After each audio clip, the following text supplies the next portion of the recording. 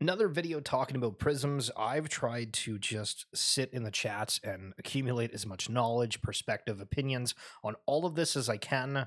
I'm going to break down this, first of all, from just reading over the articles, making uh, points along the way. So, this is going to be a read through. If you want to relax, grab a bag of popcorn, maybe order some DoorDash, you're more than welcome to.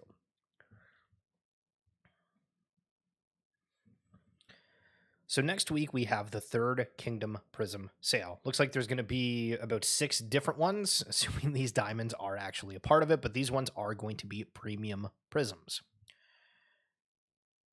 And the premium Prysms are only available for this season one. The Third Kingdom is an upcoming strategy simulation game where you will develop your surrealscapes, manage resources like mycelium, refine materials, and discover new islands to create a production empire. Prysms are a collection of in game items that help you optimize your strategy for resource discovery within your surrealscapes. Each Prysm purchased in the sale will be premium, boasting superior trait advantages in the Third Kingdom game.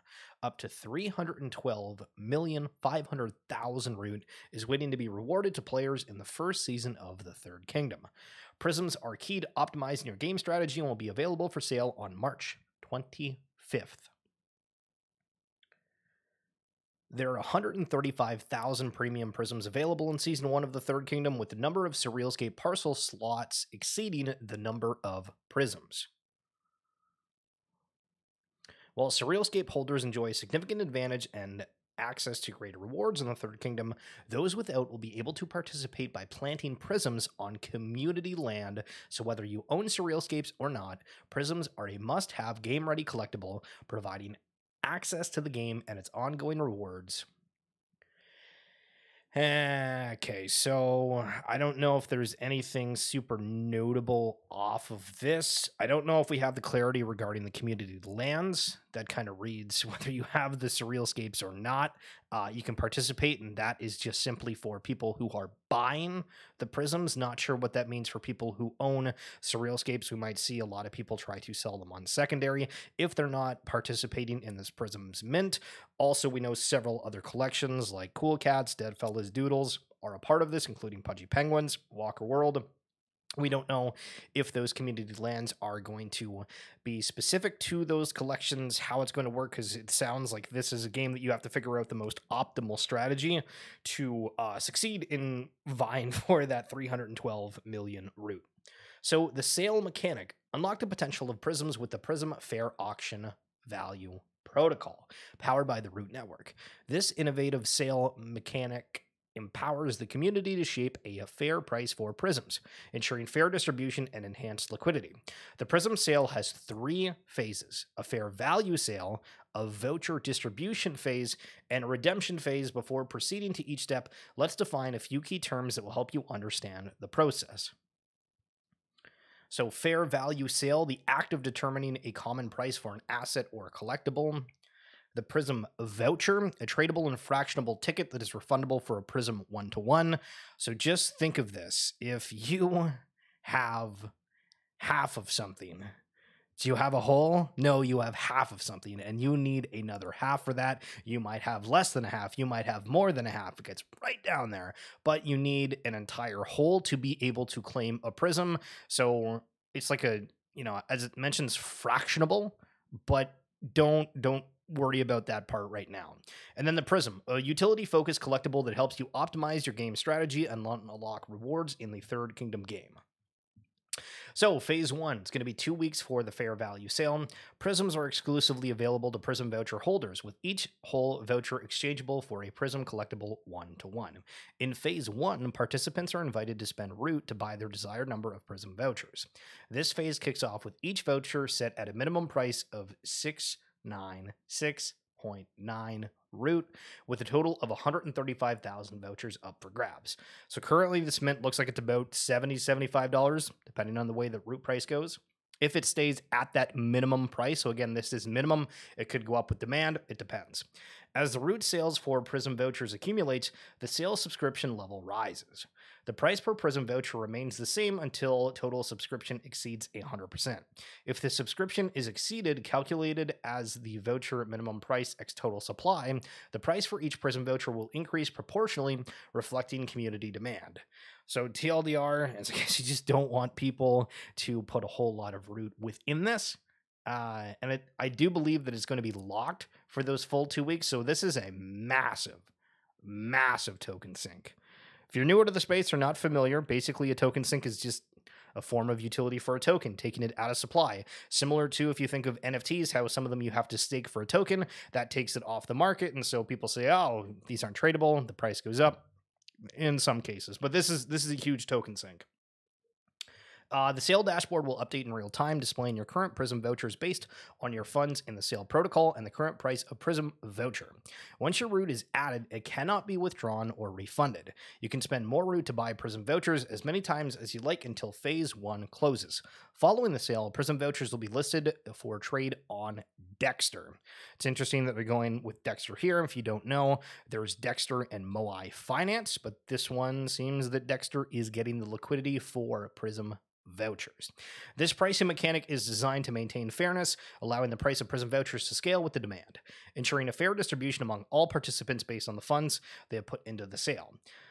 Note that Prysm vouchers are fractional to six decimal places. So you might receive proportion sorry, you might receive portions of a voucher like 3.73 yada yada yada. Participants may choose to increase their root spend to secure a whole Prysm voucher if the price increases or use Dex to acquire them post sale.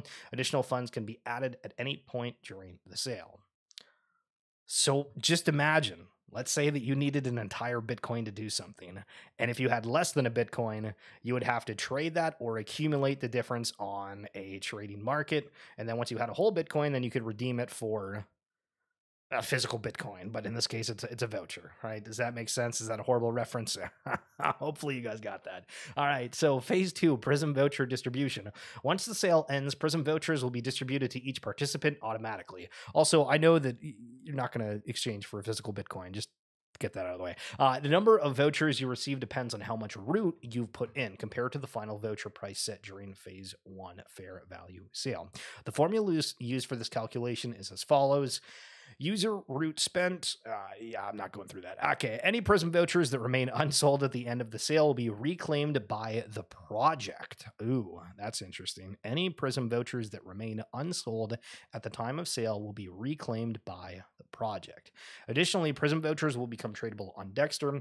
This trading opportunity allows users to either acquire additional vouchers to meet the threshold for a Prysm collectible or trade their existing vouchers. This flexibility ensures that participants can adjust their holdings according to their needs or strategy for Prysm's redemption.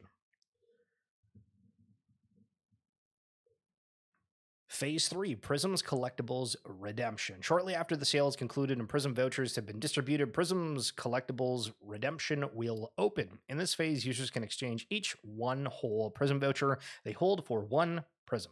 If you receive a fractional number of Prysm vouchers, such as 3.73, you can redeem three Prysms. To complete the fourth, you're going to need to add uh, the additional 0.26 voucher token through Dexter. This is the final chapter of the Prysm Fair Value Protocol, where the community will have secured Prysms. The Third Kingdom Prysms collection will be listed and tradable on Mark. So, Futureverse rewards. As a special incentive during the first 24 hours of the Prysm sale, participants will receive a 10x engagement score boost for any root spent to purchase Prysm vouchers. The more vouchers you purchase, the greater your engagement score. For the duration of the sale, each Prysm voucher purchased will reward a base 10 engagement score. Now, this is where things get a little bit interesting because a lot of the community has pointed out that this is massive dilution of Future Score. If you're not familiar with Futureverse, Future Score, basically Future Score is a loyalty program, I would argue, that is also kind of allowing you to play a game of getting root tokens for helping test out the network in various ways. Now, the Future Score has a base score or like kind of a normal, but then it also has a bonus part of it that is the engagement score. So if you participate in the first 24 hours of this, you're going to get a 10x engagement score uh, for participating within this. So it's gonna be like a, a pretty large amount off the rip, and there has been people that have said, ah, not a huge fan of that. But I think seeing how many people aren't really paying attention to this, the aspect that I don't think many are going to jump in in that first 24 hours because they simply don't understand the value proposition of Future Score is going to be minimal. I would argue, sure, it dilutes, but it kind of dilutes more the people that were going to buy this anyway. And if there is more community participation, the only way to get root is to own these assets and be participating within the quest. So I think you know, well, or, or, buying it on secondary. And so this kind of goes back to the community in a way. Um, of course, as I'm going through this, if you have any extra flaws with the way that I'm thinking or wanting to add anything, very much encourage you to leave it down in the comments below. There will be a future score quest for participating in the Prysm sale, which will be marked as complete when one Prysm collectible is redeemed. The future score quest program is designed to test the root network that powers the Third Kingdom. To participate, you will need to create a future pass, and that is going to be your passport to the open metaverse. So it talks about how to get root within there. If you're wanting to go do that, you can check it it out. But let's kind of have a quick little discussion about some of the thoughts that I had regarding it. So, assuming that it stays around the 700 root or about $75 from a specific NFT landscape in terms of flippability, people are paying way more than less than $100 on these different NFTs speculating. This, you are going to be getting the root back. You are going to be able to supercharge a future score so you can actually get root right away, which is going to be an incentive for potentially anybody new within the ecosystem realizing, hey, this is a really sweet way of rewarding, participating in the ecosystem, uh, and getting something back for that, basically immediately doing your traditional DeFi uh, stuff or just participating in general. Uh, the root that you're going to get back from the yield of the Prysm is probably going to be more than the cost cost. People have broken down the math, and I believe that it's going to be over 2,000 root per Prysm. That's not to uh, account for future score, any surprise and delight, et cetera, et cetera. Just kind of a base number of what they've looked at. So, again, flippability arguably of the NFT likely getting the root back from the yield of the Prysm seems extraordinarily likely barring some of the weird uh, requirements or happenings within that and the mega bonus for participating in the first 24 hours. Now, in the recent episode of 30 Minutes Max, which is the Futureverse community call, I did upload that on my YouTube channel.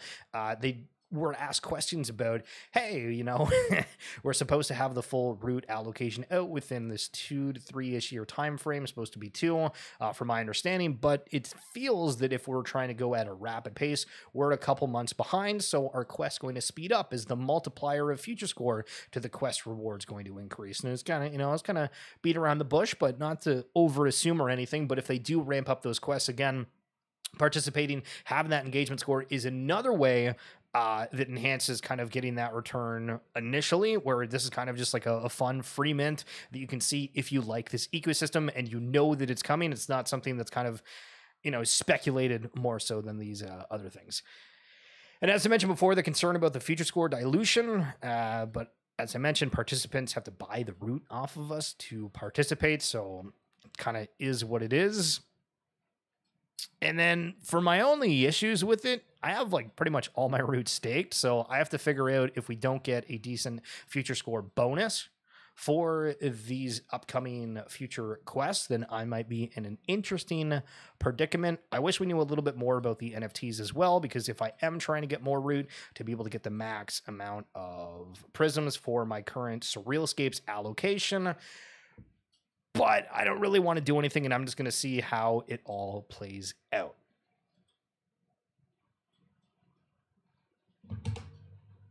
Had a note.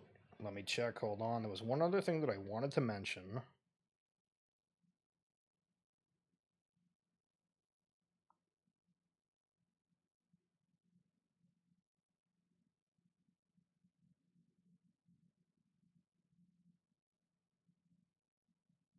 Ah, okay. I thought of it. Sorry. And with the aspect of knowing that for the future score quests, some of them, a lot of them, has required you to own a, another NFT. And if you didn't have those, you weren't able to complete those quests. So we might have a lot of people participate in the first 24 hours of this mint, get that future score, be participating in it, potentially dilute the future scores of everybody. But what's the chances that they're actually going to go and complete that quest? if they need to go get those other assets.